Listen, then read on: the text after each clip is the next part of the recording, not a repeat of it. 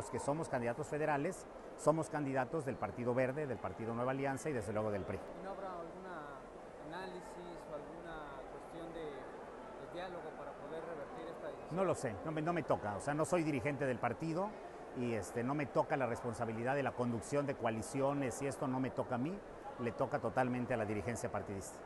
Que me recuerda nada más cuando dejó el cargo y cuando... Sí, el día y con fecha 26 de enero presenté mi renuncia al cargo de delegado porque eh, eh, venían los registros y eh, para poder ser eh, candidato o para poder aspirar en el partido obliga la no tener, a no ¿El tener. Hay un, hay un encargado, quien era mi subdelegado de, de administración, José Luis Villegas, él quedó como encargado de la delegación. ¿Y cómo deja la delegación? Como la mejor delegación del país, así lo demuestro con hechos.